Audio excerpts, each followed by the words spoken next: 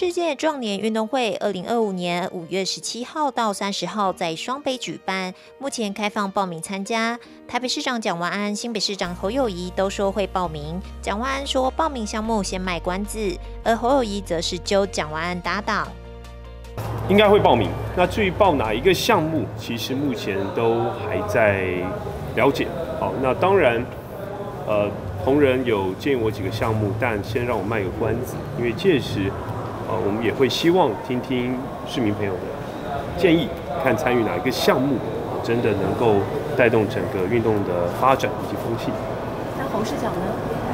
我们新北市政府会是团队参加了，不管是在田径的接力比赛，或是棒球比赛，啊，一定会参加。我个人一定会参加。不过，蒋万市长，我们两个要不要搭档一下？你要参加什么项目？看你啊，网球啊，羽毛球双打也可以啊，什么都可以啊。这些我擅长的就不要。这个我们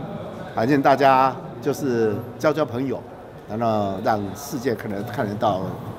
我们双北以及我们全台湾是一个运动的一个非常好的一个国家。两位市长现场体验木球运动，透过发源于台湾且适合老少咸宜的全民运动，共同传递二零二五双北世界壮年运动会的举办目的。大家也许对于世壮运比较陌生，但这是一场国际级、非常高规格的赛事。顾名思义，世壮运就是壮年的奥林匹克运动会。那它的参与资格，三十岁以上。而且个人就可以报名，不需要有任何选拔啊，就可以代表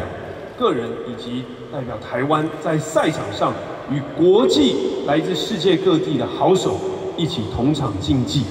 所以这是一场非常重要，不只是运动赛事，它也是结合观光、数位、绿色、永续，来带动整体台湾国际的能见度以及。来培养我们怎么样行硕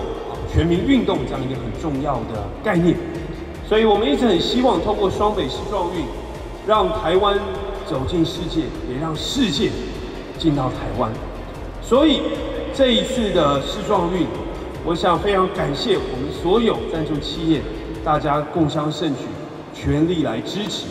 因为这是一次非常好的宣传行销机会。我想不只是我们这一次竞赛的场馆遍布五个县市，而且会预估有一百一十个国家的参赛选手，总共预估包括选手、还有教练团、还有整个家属等等，预估有超过四万人会来到台湾参加世状元。所以，不管是透过转播、网络上面的直播等等，届时我相信对于行销双北。甚至行销台湾以及所有赞助企业，都是一次难得的机会。所以在这边，我要非常谢谢今天参与的各位企业，能够跟双北我们共同来签署合作的 M O U。那当然更重要，我想我们还有很多不止宣传行销相关的物资哦，宣传品，很需要大家一起协助。最主要是在壮年运动会的过程当中。以运动健康来交朋友，然后认识一个国家，认识一个城市，这才是最重要。所以用运动友谊会，大家来认识自己，然后了解我们所有国家的历史文化，这才是最主要的目的。所以每一次世界壮年运动会参加的人，大部分都是全家还有老不幼。大家一起来做观光休闲旅游，是一个非常重要一个目的。所以为什么世界壮年运动会我们预估会有四万人参加？因为这里四万人都是选手，但是四万人可以带动更多的亲朋好友来的时候，他的消费能力是很强。我们当时预估大概会一百亿，那不既然都会集中在双北。光我们比赛场馆就有六个县市的场馆，也会遍及到全国各地。所以这一次很重要，就是说，除了我们双北来举办以外，我们更需要更多的企业来给我们支持、加油、打气。从这当中让全世界来的选手们以及家属们认识台湾、了解企业，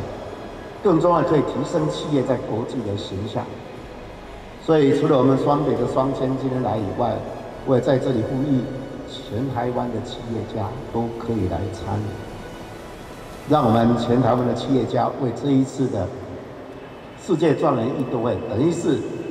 中壮年，不叫中壮年，三十岁也不叫中壮年哈，青壮年以上的人，哎，能够在这参与的过程当中，带动我们的国家运动风气，也带动。外国而认识我们台湾，这才是最主要的目的。那其实这段时间我也知道双北的承办单非常的辛苦，因为离我们比赛五月十七号大概剩下一年多一点，